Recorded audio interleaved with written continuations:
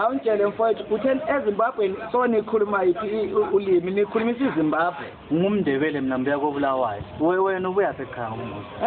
mbuyenquthu mfowethu kunenquthu kabomama wami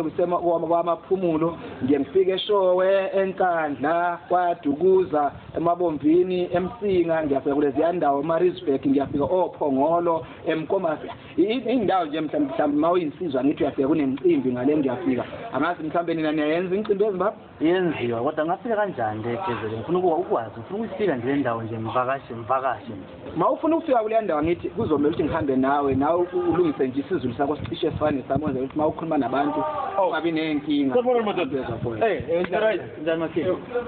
eh, eh, right ah obhet wangibheka mfowethu kuhle usaphila angiyena u-obhet uyamazi futhi nikile obhet yo hawu niyazana obhet usaphila A, bade ban ding an, an bade ban donkou an an iti, tabou, mwen bade mwen twey pa matek. A, a, a, ope, ope. Mwen kou mwen deva ete gwen an iti. Ope, ope, ope. O la pa. A, bade ban ding an, an bade mwen twey pa matek. amukhuluma nomtori kongangithi ngalobobetha omfuna ngakuphi uzifihle kuphi vele watasha kangaka abantu bonke sebekwasiwashona kunini waloba waloba ekhululayo khona sengiyakwazi ukuthi lesifunde sengwase lupane lo umntana wophethini sifunde sonke ngwase lupane sifunde sonke fatima umzulu wokho athi mzulu ophethini ophethini mamela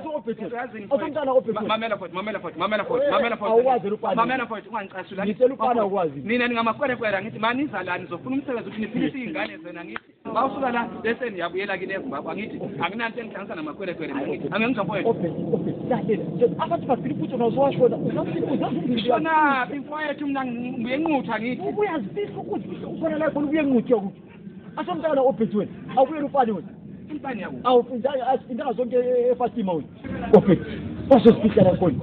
azizumsulu manje ekhasi konakele le ubaba wakho utshize bekubaba wakho last week hayi awe ngiyakutshela besibekubaba wakho last week umama wakho uyagula le ekhaya manje uzevukile inyawo zingaka so uthi bekubaba wakho behlaliswe ebhareni onofiubeninikuphubeni ubaba last week imfihle last week ngikutshela iqinisoabasamfoneyile nje ukuthi baba ubhubhile sho abantu bengiuzezumzulu ubhubhile sho zinyalesilo sehlanga wenonyathi impondo zimakopela wena wembube indlondlelo phapha ekhanda sebesebe likamatshobano silo sakwanongoma wena odabuka